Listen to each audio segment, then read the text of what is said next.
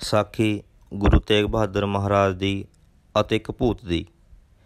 ਧੰਨ ਗੁਰੂ ਤੇਗ ਬਹਾਦਰ ਮਹਾਰਾਜ ਜੀ, ਜਦੋਂ ਸ਼ਹੀਦੀ ਦੇਣ ਲਈ ਦਿੱਲੀ ਜਾ ਰਹੇ ਸਨ, ਤਾਂ ਔਰੰਗਜ਼ੇਬ ਨੇ ਉਹਨਾਂ ਦਾ ਉਤਾਰਾ ਇੱਕ ਹਵੇਲੀ ਵਿੱਚ ਕਰਵਾਇਆ, ਜਿਸ ਵਿੱਚ ਇੱਕ ਪ੍ਰੇਤ ਰਹਿੰਦਾ ਸੀ। ਇਲਾਕੇ ਦੇ ਸਾਰੇ ਲੋਕ ਉਸ ਹਵੇਲੀ ਵਿੱਚ ਜਾਣ ਤੋਂ ਡਰਦੇ ਸਨ। ਜੇ ਕੋਈ ਉਸ ਹਵੇਲੀ ਵਿੱਚ ਚਲਾ ਜਾਂਦਾ, ਭਲੇਖੇ ਨਾਲ ਵੀ ਤਾਂ ਕਦੇ ਜਿਉਂਦਾ ਵਾਪਸ ਨਾ ਆਉਂਦਾ। ਰਾਤ ਨੂੰ ਤਾਂ ਕੀ ਕੋਈ ਦਿਨੇ ਵੀ ਉਸ ਹਵੇਲੀ ਦੇ ਨੇੜੇ ਤੇੜੇ ਨਹੀਂ ਸੀ ਲੰਘਦਾ। ਔਰੰਗਜ਼ੇਬ ਨੇ ਗੁਰੂ ਸਾਹਿਬ ਦਾ ਉਤਾਰਾ ਉਸ ਹਵੇਲੀ ਵਿੱਚ ਕਰਵਾ ਦਿੱਤਾ ਤੇ ਸੋਚਿਆ ਕਿ ਜਦੋਂ ਭੂਤ ਨੇ ਤਾਂ ਕੀਤਾ ਤਾਂ ਹਿੰਦੂਆਂ ਦਾ ਗੁਰੂ ਚੀਕਾ ਮਾਰ ਕੇ ਬਾਹਰ ਭੱਜੇਗਾ ਤੇ ਆਪਣੀ ਜਾਨ ਬਖਸ਼ੀ ਦੀ ਖਾਤਰ ਇਸਲਾਮ ਕਬੂਲ ਕਰੇਗਾ। ਉਸ ਦੇ ਇਸਲਾਮ ਕਬੂਲ ਕਰਨ ਨਾਲ ਸਾਰੇ ਹਿੰਦੂ ਬਿਨਾਂ ਯਤਨ ਕੀਤੇ ਹੀ ਇਸਲਾਮ ਕਬੂਲ ਕਰ ਲੈਣਗੇ। ਮੈਨੂੰ ਕੋਈ ਯਤਨ ਨਹੀਂ ਕਰਨਾ ਪੈਣਾ ਤੇ ਸਿੱਧੇ ਤੇ ਸੌਖੇ ਢੰਗ ਨਾਲ ਹੀ ਸਾਰਾ ਕਾਰਜ ਰਾਸ ਹੋ ਜਾਵੇਗਾ। ਇਹ ਸੋਚ ਕੇ ਔਰੰਗਜ਼ੇਬ ਨੇ ਹਵੇਲੀ ਦੇ ਬਾਹਰ ਪਹਿਰੇਦਾਰ ਵੀ ਬਿਠਾ ਦਿੱਤੇ ਤੇ ਗੁਰੂ ਸਾਹਿਬ ਨੂੰ ਉਸ ਹਵੇਲੀ ਵਿੱਚ ਕੈਦ ਕਰ ਦਿੱਤਾ। ਜਦ ਰਾਤ ਹੋਈ ਤਾਂ ਉਹ ਪ੍ਰੇਤ, ਜਿਹੜਾ ਕਿ ਬਹੁਤ ਹੀ ਡਰਾਵਣਾ ਸੀ, ਗੁਰੂ ਸਾਹਿਬ ਅੱਗੇ ਹੱਥ ਬੰਨ੍ਹ ਕੇ ਪੇਸ਼ ਹੋਇਆ ਤੇ ਗੁਰੂ ਸਾਹਿਬ ਨੂੰ ਬੇਨਤੀ ਕਰਨ ਲੱਗਾ, ਮਹਾਰਾਜ ਜੀ ਤੁਹਾਡਾ ਬਹੁਤ ਜ਼ਿਆਦਾ ਧੰਨਵਾਦ ਜੋ ਤੁਸੀਂ ਮੈਨੂੰ ਇੱਥੇ ਆਣ ਕੇ ਦਰਸ਼ਨ ਦਿੱਤੇ ਤੇ ਮੇਰਾ ਜੀਵਨ ਸਫਲ ਕੀਤਾ।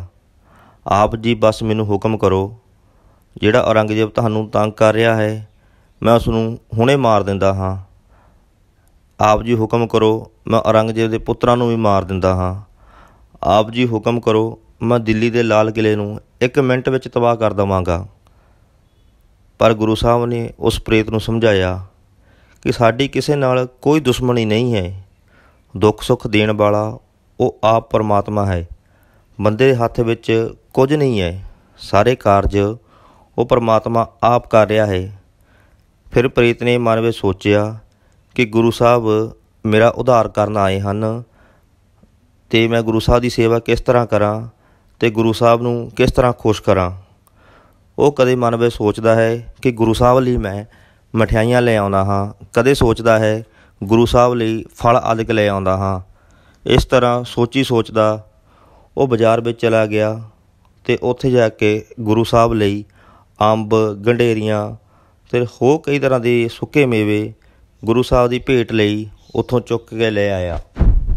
ਗੁਰੂ ਤੇਗ ਬਹਾਦਰ ਮਹਾਰਾਜ ਜੀ ਨੇ ਉਸ ਪਰੇ ਦੇ ਦਿੱਤੀਆਂ ਭੇਟਾਵਾਂ ਪ੍ਰਵਾਨ ਕਰ ਲਈਆਂ ਕਿਉਂਕਿ ਗੁਰੂ ਸਾਹਿਬ ਨੇ ਦੇਖਿਆ ਉਹ ਬੜੇ ਹੀ ਸ਼ਰਧਾ ਤੇ ਪਿਆਰ ਨਾਲ ਗੁਰੂ ਸਾਹਿਬ ਲਈ ਇਹ ਸਭ ਵਸਤੂਆਂ ਲੈ ਕੇ ਆਇਆ ਸਾਈ। ਗੁਰੂ ਸਾਹਿਬ ਨੇ ਖੁਸ਼ ਹੋ ਕੇ ਉਹਦੀਆਂ ਜੋ ਭੇਟਾਂ ਸੀ ਉਹ ਪ੍ਰਵਾਨ ਕੀਤੀਆਂ, ਸੁੱਕੇ ਮੇਵੇ ਵੀ ਛਕੇ ਤੇ ਗੰਨੇ ਦੀਆਂ ਗੰਢੇਰੀਆਂ ਵੀ ਚੂਪੀਆਂ। ਇਹ ਦੇਖ ਕੇ ਜੋ ਪ੍ਰੇਤ ਸੀ ਉਹ ਖੁਸ਼ ਹੋ ਗਿਆ ਕਿ ਗੁਰੂ ਸਾਹਿਬ ਨੇ ਮੇਰੀ ਭੇਟਾ ਉਹ ਪ੍ਰਵਾਨ ਕਰ ਲਈ ਹੈ। ਹੁਣ ਜ਼ਰੂਰ ਮੇਰੇ ਜੋ ਜੁਗਾ ਜੁਗਾਂ ਦੇ ਪਾਪ ਨੇ ਉਹ ਨਾਸ ਹੋ ਜਾਣਗੇ। ਗੁਰੂ ਸਾਹਿਬ ਨੇ ਪੁੱਛਿਆ ਕਿ ਤੈਨੂੰ ਇਹ ਪ੍ਰੇਤ ਦੀ ਜੁਨੀ ਕਿਸ ਤਰ੍ਹਾਂ ਮਿਲੀ? ਤਾਂ ਇਸ ਨੇ ਦੱਸਿਆ ਕਿ ਮੇਰਾ ਸਰੀਕੇ ਨਾਲ ਝਗੜਾ ਸੀ। ਮੈਂ ਝੂਠ ਫਰੇਬ ਕਰਕੇ ਇਹ ਹਵੇਲੀ ਆਪਣੇ ਨਾਮ ਕਰਵਾ ਲਈ ਸੀ। ਸਾਰਿਆਂ ਨੂੰ ਝੂਠ ਬੋਲਿਆ। ਉਦੋਂ ਮੈਂ ਇਹ ਨਹੀਂ ਸੀ ਸੋਚਿਆ ਮੈਨੂੰ ਪਾਪ ਲੱਗੇਗਾ। ਜਦ ਮੈਂ ਮਰਿਆ ਤਾਂ ਮੇਰੀ ਸੂਤਾ ਸੀ, ਇਸ ਹਵੇਲੀ ਵਿੱਚ ਸੀ। ਜਿਸ ਕਰਕੇ ਮੈਨੂੰ ਪ੍ਰੇਤ ਦੀ ਚੁੰਨੀ ਮਿਲ ਗਈ। ਜਿਸ ਤਰ੍ਹਾਂ ਗੁਰਬਾਣੀ ਦਾ ਫਰਮਾਨ ਹੈ